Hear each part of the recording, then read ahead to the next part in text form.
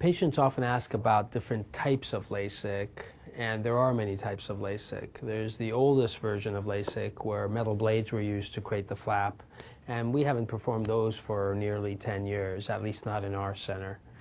Then more modern version of LASIK, iLASIK, which is the only version of LASIK that provides customization of the shape of the treatment called wavefront.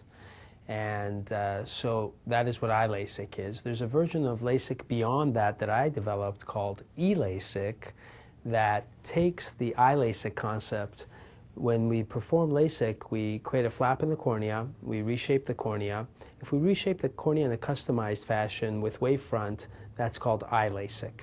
If we also customize the shape of the flap itself, then that's called eLASIK for elliptical because the flap now conforms to the shape of the cornea itself. So the absolute latest, most advanced version of LASIK is referred to as eLASIK.